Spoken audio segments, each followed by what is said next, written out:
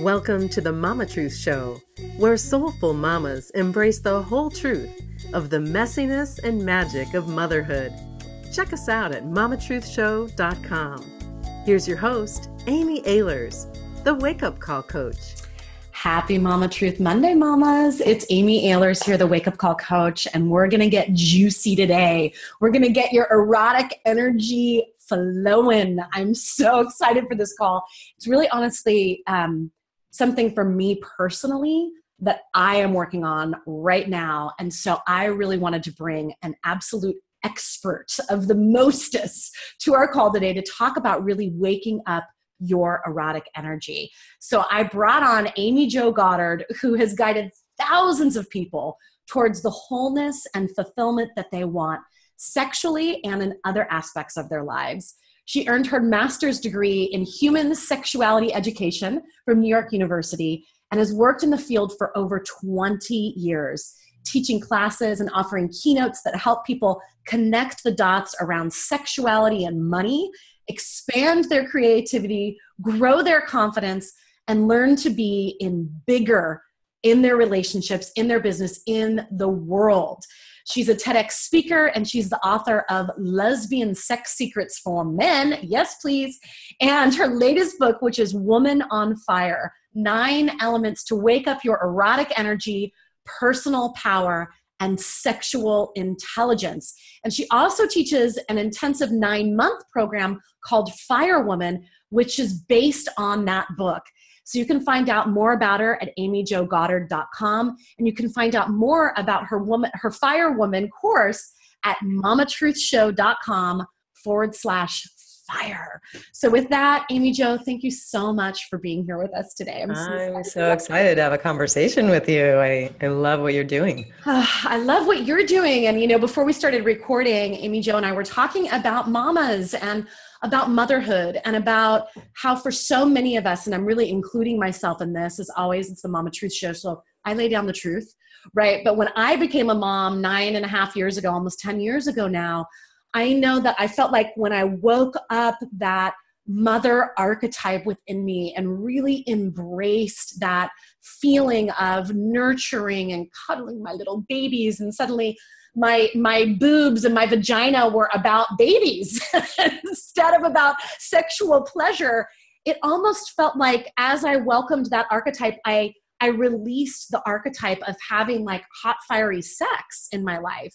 And i know that i want that back and i know that so many of you mamas want that back. So i'm so excited for our conversation today because i know this is like your specialty absolutely yeah yeah i mean i've had a lot of mothers do my work. Yeah. And the thing, there's a couple things I hear a lot from them, but one of the key things is how much they feel like their sexuality becomes invisibilized when they, it's like, I'm a mom, and like, never mind that all the things that led to being a mom and motherhood are super sexual. They're super important parts of of her sexuality and yet all of a sudden, oh, you don't really get to be a sexual person anymore. We don't see that part of you. That part even becomes taboo. We don't want to hear about moms and sex, right? You know, and um, and so I think there there's a lot of searching of like, well, who who do I get to be as a sexual being? Do I still get to have that? And then of course there's all the practical things of like, I'm tired,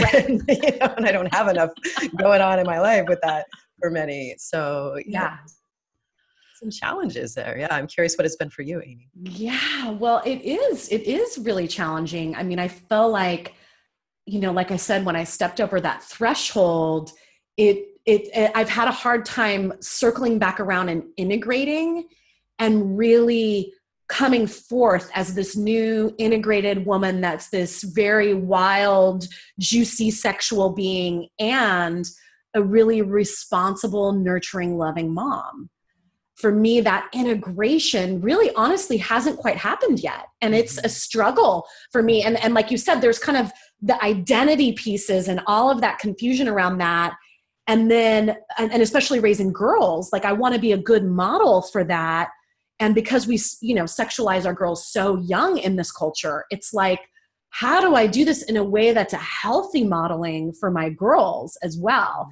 So there's that identity, that confusion around that. And then there's also just the tactical things of like i'm freaking tired. I'm running this big business. I have this big calling.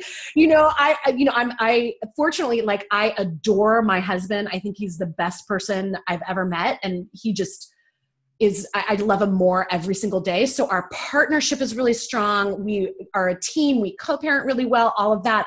But as far as the fire element it's like where did that go? I don't where's the place for that? Where's the time and the space for that mm-hmm. you know Yep, that's real. Yeah, that's real. And I think that no matter where people are at in their lives, whether they have children, whether they have a really busy career, right. or both, yeah. uh, you know, you name it, whatever is on your plate, you're caring for aging parents, you're, you know, there's all these ways in which we are pulled. Um, and I think particularly as we get older and there's sort of more things happening kind of on both ends of the spectrum in our families, um, you know, it is one of the biggest challenges of well how do i prioritize sexuality? Like i want it to be important. I really believe in my heart it's important and yeah. and we're gonna have another netflix night you know or yeah. whatever. I know. Um, we're gonna have a glass of wine and pass out in front of the tv right right. And, right. and, we all know that place and so you know we're, we're our lives are busy. We're overscheduled and and under resourced in general. So um, you know and sexuality isn't going to make itself the the priority. I mean, right. we we really have to decide that we're going to put conscious energy into it. It's certainly not going to happen by itself. And I hear that from parents and definitely from new parents a lot. Um, yeah. Gosh, it's just fallen to the bottom of the priority list, you know. Or sometimes I hear things like, "It feels like the last chore of the day." Right. And I'm tired of my chores and I just want to sleep, you know. And i feel like oh like that just that's heart wrenching to me when i hear that yeah.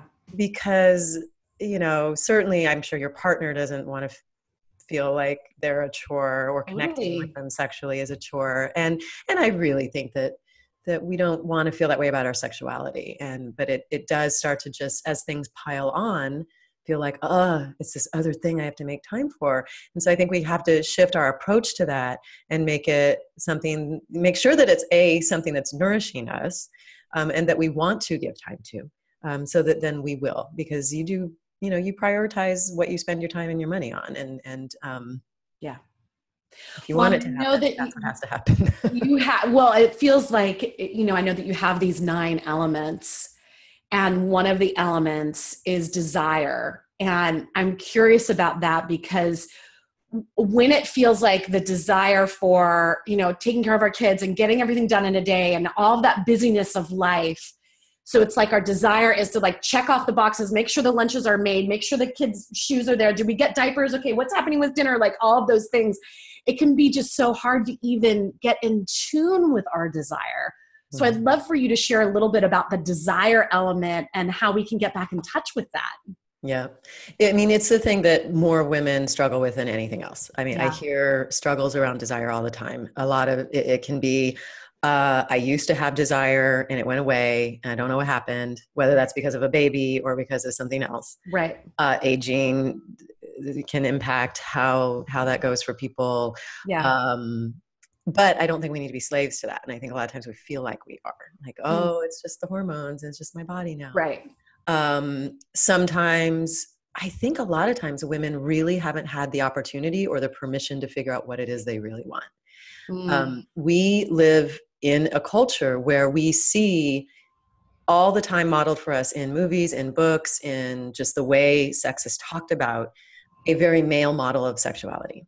Yeah. And it doesn't really include us. It doesn't really include um, a woman's perspective. And again, I'm talking in, in generalities. There's always exceptions. And, you know, so I will just you know, preface this with that. But I think, you know, we see it as a very linear thing. Mm. Um, and all the images are, you know, it's like they're, they're going to see each other. They're going to have this spontaneous desire. oh my God, I want you. Yeah. Next thing you know, they're in bed. right. And, and just straight to penetration. Right. Straight, to penetration. Everything's else. You know, maybe you see a quick kiss. and then, of course, they have mind blowing mutual orgasms at the same exact time. And then everybody's happy and they roll over and go to sleep or whatever. Totally. It's so you true. Know, we see it all the time. And so even though we can laugh about it and think, yeah, that's ridiculous. Yeah. we can't really assume that it doesn't affect us that we see it over and over and i hear it from women all the time they're comparing themselves to that and they're like well desire doesn't happen that way for me yeah. you know i don't i don't just feel that for my husband it's like yeah because a lot of our desire is responsive desire it's not spontaneous mm. um, where we're going to respond to something and so if what we're responding to is you know oh my god we finally got the kids to bed. There's a dirty diaper mess we've got to clean up. There's a you know there's a train wreck in the living room with the toys. There's a you know the dishes haven't been done. If that's what we're responding to not sexy you know? So true. And so you know i mean and sometimes you know i've heard from women they're like you know the sexiest thing is when my husband does all the dishes the kitchen, and then i'm like yeah i'm on. It's on so that you know it, it's a simple example but that's really true. Like sometimes it's like those acts of service are what's hot. Feeling yeah. cared for feeling seen in terms of our needs. Yeah. Um, and anything that can lessen the harriedness um, is going to help our desire. Yeah. so um, so i think that's that's one piece that's important to say. And then another piece is is that energy creates energy right and so if we want to feel more desire energy if we want to feel more like pleasure in our bodies and you know ecstasy in our sex lives then we've got to be nourishing that energy and generating it and there are lots of ways to do that uh, i always encourage my clients to start a sexual practice Mm. Um, and I think about sexual practice the way a lot of people think of spiritual practices, mm. right? I'm sure a lot of the women in, yeah, in for sure tribe have you know yoga that they do or you know you're finding a way to take some time right? To meditate to pray to read the good book to do the yoga to whatever the thing is to walk in the woods here and there. Um, and so a sexual practice is similar and it doesn't have to take a lot of time. It can be something simple you do for yourself. Mm. um, and i kind of play games with myself. Like i make little rules like um, i love i love the feeling of a breeze on my skin that is totally like it just it gives me chills all over my body it feels so good and mm. so i have this rule that if i'm outside if i'm walking or i'm on the phone or i'm listening to something or whatever that i stop when when the wind blows you know mm. when there's like this beautiful breeze and i just really feel it for a minute mm. and so i think mm. sometimes we make it complicated like it everything has to take so much time and it can be really the simple things like that i think as as busy moms like you need to be feeling pleasure each day and you need to be feeling like your body is yours and you're getting to have a sensual experience in your body apart from your children which can also mm. be super sensual and beautiful um, and and so finding ways to really nourish that on a regular basis is going to create more desire to have more of that pleasure energy. And I think what happens is we go from busy, busy, busy, overscheduled, running around, doing all the things. Oh my God, okay. And then we just want to turn it on in the bedroom. And that's that's not a setup for that. That's not gonna right. happen. Right. So I just want to dig in a little bit more around the sexual practice. I'm in, I'm intrigued by this idea. So when you say that, it sounds like you're talking about finding little things that bring you pleasure and and really bringing in the context like framing it and claiming it mm-hmm. as a mm-hmm. sexual practice like to mm-hmm. because it's like i like i get the the pleasure and i and i feel like you know for me personally i have so much pleasure in my life and like cuddling with my my three year old is like one of the deepest pleasures of my life but like that pleasure then trying to make it a, a set part of my sexual practice wouldn't go together for me. Right. Right. Right. right. So it's like really I think we need separations. Right. we need separations, which is good. So it's like finding those things that are pleasurable that we can then put through the lens of, oh, this is part of my sexuality. Is that, am I mm-hmm. getting it right? Yeah, absolutely. Absolutely. Okay. Um, I'll give you a couple examples of okay, practices great. that I really like. I've had, I mean, I've had women come up with all kinds of things over the years. Yeah. And what I encourage people to do is, you know, sexuality is very vast. It is not one thing. Yeah. And so whatever people are kind of in the most either struggle around or the thing they're wanting to deepen or connect to more in their sexuality, to make a practice around that thing. So if you're wanting to be in your body more, then do something that's a physical practice. Maybe it's a mm. naked dance practice, you know. Um, I work from home. One of the things I found to be really helpful as someone that works from home is actually making a ritual that is an end to my workday and like this is the beginning of my rest of my day you know my personal time so like a dance practice where i put on a couple of my favorite songs you know and dance naked or not whatever however you want to do it um, or put on something sexy and fun grab your boa out of the closet you know whatever. I mean just to make it fun and have be, get physical in your body. Some people will have an actual like masturbation or self-love practice. They'll do that on a on a daily or semi-daily basis. Um, some people will choose things like um, like if they're really trying to have like work on their like self-love and connection to self self intimacy they might do some kind of practices in the mirror um, really loving themselves, you know, playing, um, laughing, you know, eye gazing. I mean, there's a lot of different ways you could do that. Um, and can I lead you through one of my favorite ones? It's yes, please yes. because it's that fast. Yeah. Um, I do have a meditation practice and I keep an altar. Another great thing is to have an altar or beautiful things that represent your sexuality. Nobody else even needs to know what it is. Like you can just be like, these are pictures I like, you know, or these are mm, special objects. Love that. Like having a place that you go for that. And altars are beautiful for that. And they're just so fun to make because I mean there's no rules in making an altar. You make it a space that's sacred and beautiful for you. Mm. So um so this one of my clients named this the two minute tingle. So what I do is I start at the top of my head and I just you can all do it with me. Do it with me if you want. So for those of you listening on audio, she's just taking her ha- hands. Yeah. So running your your hands down the back of your neck and really feeling your skin. Like with intention, not just quick, like, you know, and then coming back and coming down the front of your face, your ears, you know your your jaw your neck and coming down the front of your body like not missing any part and just mm-hmm. just hi body hello like feeling the skin feeling the veins feeling the bones you know mm-hmm. if there's a place that's sore like oh i'm mm-hmm. gonna kind of like rub my my mm-hmm. upper arms or something or you know rub your butt oh butt butt rub feels really good um, you know i reach around i get as much of my back as i can it feels so good mm. um, kind of bring the energy in the spine, mm. I mean, all the way down the legs. I love to get the bottoms of the feet because I'm pretty sure I have a clitoris on the bottoms of the to get all the good parts. No fair. I want one. Are they giving them out at the store? I don't know how I got that. It's great. But but really and just like coming back to the places where you're like, oh, that needs a little more love or attention. And and but really mm. that took like just a minute or two. Mm. Notice anything different in your body? Yeah, I feel tingling a lot of places. I feel aliveness. I feel energy. I feel more embodied. I feel more grounded. I feel like, oh, there's more than just like my head. Right. you know, it's right. like, oh, there's like this whole body here and she likes to be touched. And yep. yeah, yeah beautiful i love that. Yeah.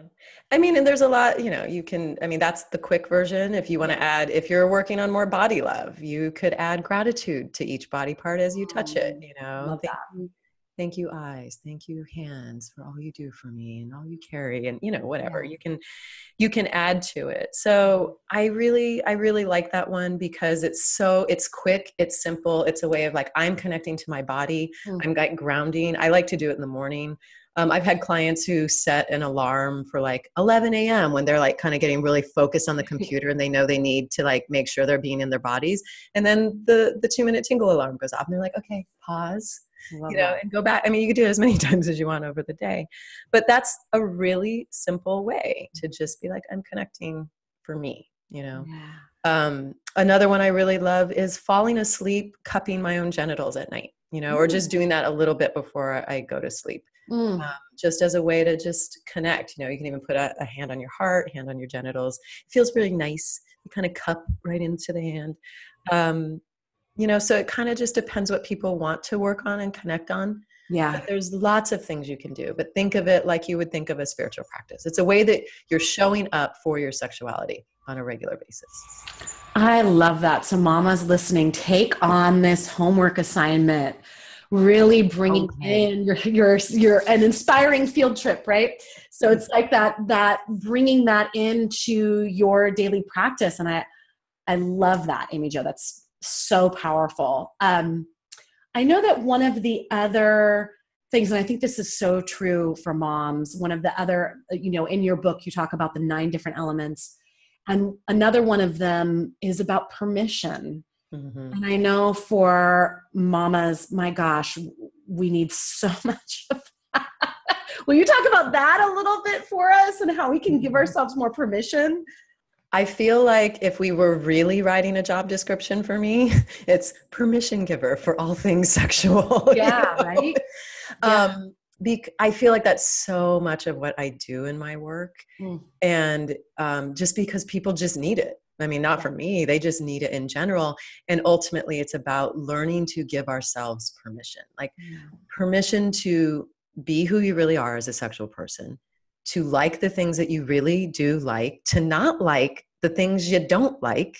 Yeah. A lot of times we feel like we are supposed to like certain things. And so mm. we kind of force ourselves to engage in things that maybe aren't what we really want. Mm. Um, and to really explore and discover um, the sexuality that really is authentic for us and isn't that version, you know, that glossy, over sexualized version we see in the culture yeah. that doesn't include us, where everything is just leading, you know, it's all about getting to intercourse.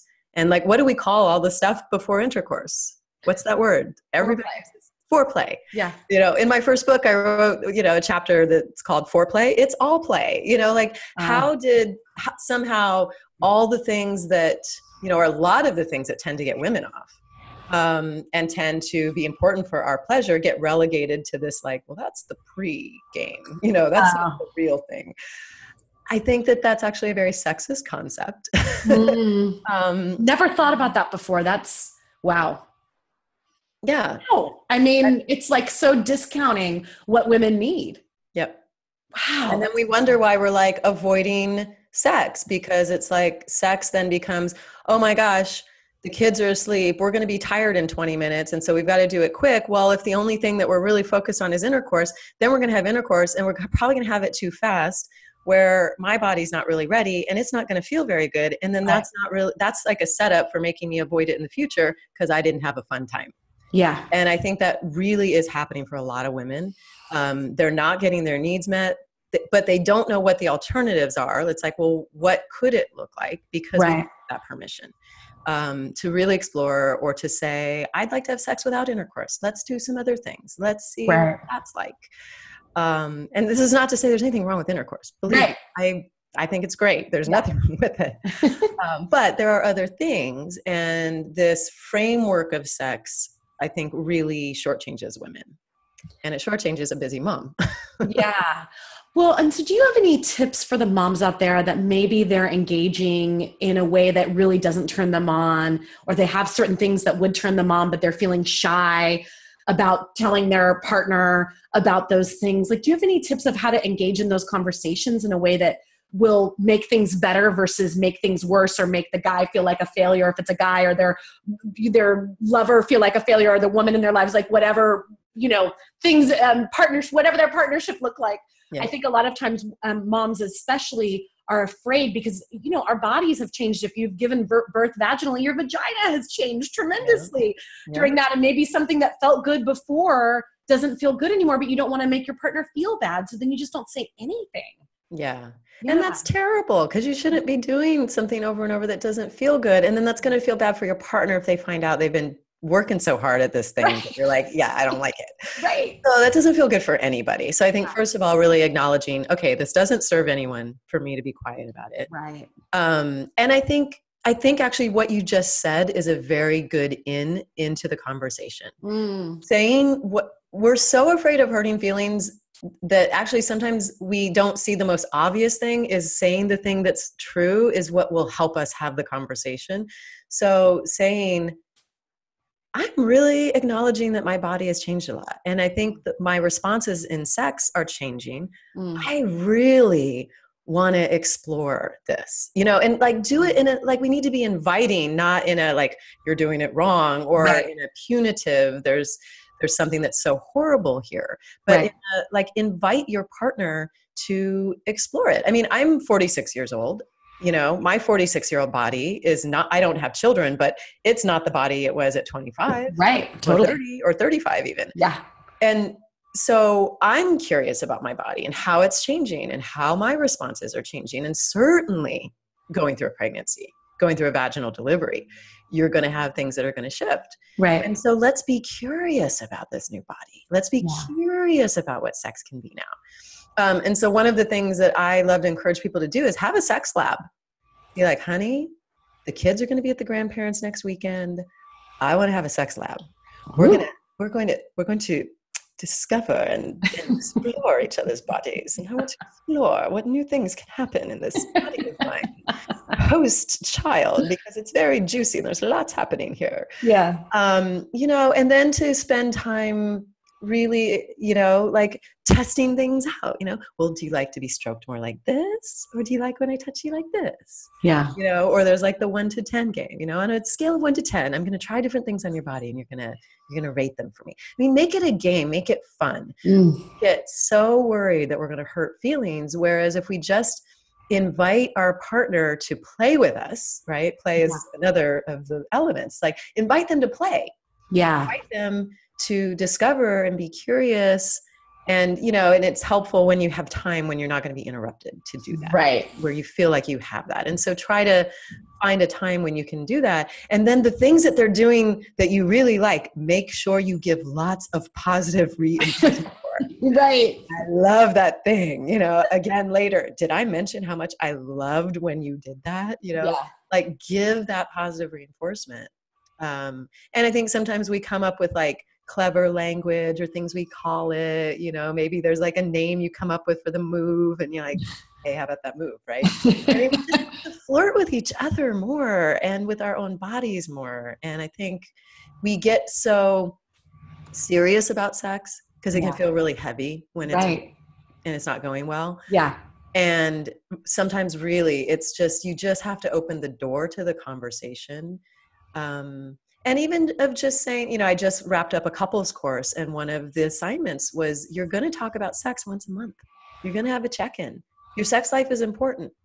And yeah. so you're both going to take responsibility for hey let's have our monthly check-in. How's sex going what are you liking? What are you wanting more of? Oh, right. What's working for you? It's not complicated.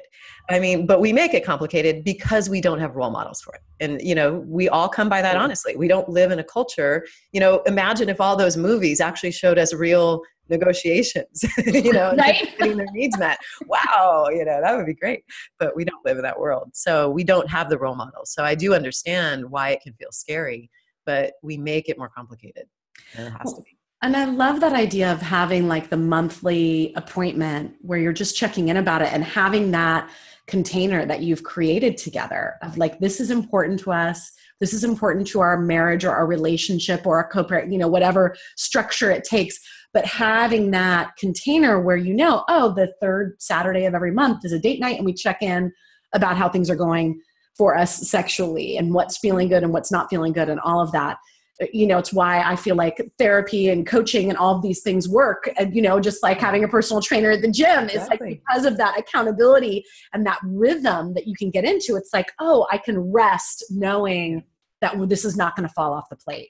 Yep. Yeah. And i mean i think a couple of important things about that is one is it sets the tone of we talk about sex here. Yeah. You know we're not going to stay in our quiet isolated bubbles or in our shame about it or in our you know whatever it is that's going on our fears. Um, and another thing is that it does it, it does that work of making it the priority right? It brings yeah. it back to the prior the top of the priority list. And third which i think is so important to say to parents is it makes your coupleness a priority. Yeah. And so often i see uh, couples lose that when they have kids. It's like everything becomes about the kids, mm-hmm. and they really lose that that focus or just we're still going to make time for ourselves because it's important for us to have that connection with each other. And so it really prioritizes that, which mm. is going to make you better parents. The more you're nourished sure. there, it's going to make you such better parents. yeah. When I know that you have this program coming up, and I would love Firewoman, right? Um, and I would love for you to talk a little bit about that because I'm sure that there's some mamas that are listening right now that would love to go deeper in this exploration with you. Yeah. Yeah. Yeah. I mean, I think it takes a lot of time um, when we've when we've built up a lot of patterns that aren't helpful to our sexuality, that don't nourish us um, sexually, and or if we've just struggled with it and we've not really been able to break through, which is true for many women, mothers or not, um, having having a period of time where you really devote to like i'm really going to work on you know making this the priority having that that sisterhood around me to go through a process together um, and having having guidance for something that again most of us don't have a personal trainer for right. right. need. So yeah i mean fire woman is based on the nine elements in woman on fire and so we go through an element a month. And uh, so it's virtual. We have women signing up from all over the world. We've had someone sign up from Australia the other day, and um, yeah, several different countries already for this this upcoming group, and um, and then we come together in a live event later in the fall. Um, but we work on an element each month, and so that because I think a lot of times people are like. I know I need a lot of work around sexual empowerment, but I just I don't even know where to begin. I right. it feels like this overwhelming big bubble of stuff and that's why I broke it down into these elements because these are the conversations I have with women over and over. Um, and so there's all these different inroads. And, you know, so we start, you know, we start with voice. We, you know, we talk about desire, we talk about the body, we talk about play, we talk about what it means to be at home in ourselves. And we mm. talk about that fire and how to really juice up our energy and have it reproduce itself so that we have more sexual energy for ourselves, more energy as parents, and in all the other things that we're doing. So um, it's really a beautiful program, and I, yeah, I would love to have some of your mamas come do it. Please, yeah, that's work with us this year. I love it. So you can check that out at mamatruthshow.com forward slash fire, mamatruthshow.com forward slash fire, and you'll see all the details about that program with Amy Jo and really that exploration of nine months of making yourself a priority, making your sensuality and sexuality and erotic energy a priority. I, I, I'm so glad that you're doing this work, Amy Jo. I just oh, love it is. So thank you. Yeah, and I think you know it's nine months because it's it, it's your own birth. That's right. Thinking about it as like, what is my birth as a sexual being, and you know, um, yeah, it, it's so rich uh, when women come together and and work on it with each other because yeah. we've all got our stories that are really tender and um, and and that we relate to in each other we see mirrors in each other so i absolutely love the work and i invite you i invite Yay. you come play with us Awesome. So the last question, it's something that I um, I usually ask the moms that come on the show about what's messy and what's magical about motherhood. But for you, Amy Jo, since you don't have two legged creatures in your life, little human beings running around, tell us what's messy and what's magical in your life right now, just in general. What's messy and what's magical? Oh, I love it. Messy is um, home. Uh, I have been on the road for 18 months. I was touring for wow. my book. I didn't have a home for the first, for the only time in my life. I thought, well, I'm going to try this. And then I was really ready to have a home and I've moved into a home that I, I can't stay in. It's a toxic environment. So, oh no. So I have to move again. So that's what's oh, messy right now, but yeah. that's okay. I know that that's only, be, you know, that there's something even more beautiful and expansive waiting. I thought this was it. It's not. Yeah. It's, it's there. So, um, and what is magical? Oh my gosh. Um, several magical things. I think I think even though the I've realized that the space I'm in isn't right for me, it has been magical creating this space because I love creating the juicy beauty. Yeah, yeah. Art around me. Um, I I really revel in creating space. Mm. Um, and and I think what's magical is this yeah this event we're planning in the fall. It's going to be at a place called the Fire Garden. It couldn't be more kismet. oh it's got like fire sculptures all over it. it it's, oh. it's, lit up at night. It's oh. super magical. And so my team and I are just like chomping at the bit. We're so excited. We're so in our creative energy around awesome. all that we're going to be able to create fire women at the fire garden. So I love it. Really awesome. Oh my gosh. That. So great. Yeah. So you have to come. Oh yes. oh my gosh. That sounds amazing. We'll talk for sure. Mm-hmm. that sounds awesome. Okay. Well, mamas, with that, I hope that you're taking some of these juicy little homework assignments and experiments with you from our call today. Again, you can check out more about Firewoman at mamatruthshow.com forward slash fire. And until next week, it's Amy Ahlers signing off. Keep embracing the messiness and the magic of motherhood. Bye bye, everyone. Bye.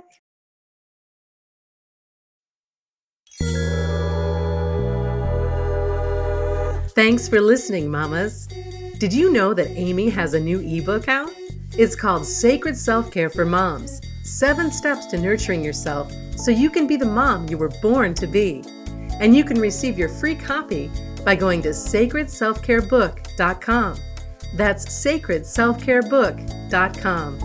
And please don't keep the Mama Truth Show a secret. The biggest compliment you can give is to share the Mama Truth Show with your loved ones and write a review on iTunes. Until next time, keep embracing the messiness and the magic of motherhood.